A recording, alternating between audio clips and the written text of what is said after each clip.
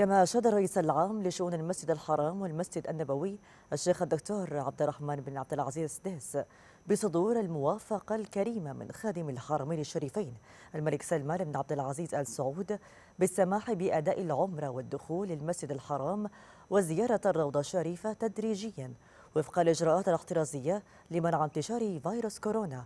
وبين سديس أن الرئاسة تستعد بكافة طاقاتها لاستقبال ضيوف الرحمن من معتمرين وزائرين. مطبقة أعلى التدابير والإجراءات الاحترازية بالتعاون مع الجهات المختصة.